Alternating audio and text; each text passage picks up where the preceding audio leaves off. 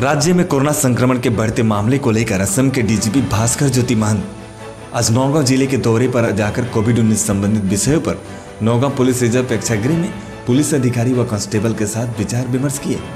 साथ ही उन्होंने कोरोना संक्रमण से बचाव के लिए पुलिस अफसरों को जानकारी भी दी। उन्होंने निर्देश दिया कि सभी पुलिस अधिकारी व उनके परिवार हाथ धोने में अपने अपने साबुन का इस्तेमाल करें। डीजीपी ने नौगांव ज़िले के ताज़ा कानून व्यवस्था के बारे में पुलिस अधिकारियों से जानकारी लिया और उन्होंने हर समय सावधानी बरतने का सुझाव भी दिया।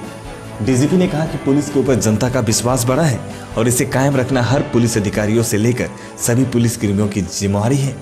असम हेडलाइंस न्यूज़ के लिए नौगांव से अजय महतो की रिपोर्ट।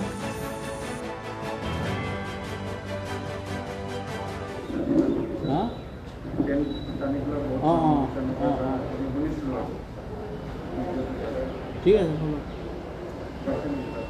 পাইছোঁ?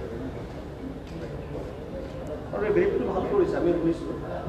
আপুনি তাত ব্ৰিফটো ভাল কৰিছে কিন্তু ছাৰ এটা ৰিকুৱেষ্ট কৰিছোঁ ইয়াত অপেন চিক্ৰেট স্মকিংটো হুম? আজিৰ দিনত খুব বেয়া ছাৰ অপেন স্মকিং এইটো ছাৰ এটা বন্ধ কৰাবলৈ এটা চেষ্টা কৰিব লাগে খোলা পাব্লিকত sir it my hearty request to you sir. Sure sure I think so' আমি ইনফেক্ট কাৰোবাক দিছোঁ এইটো দায়িত্ব চি আই ডিক দিছোঁ।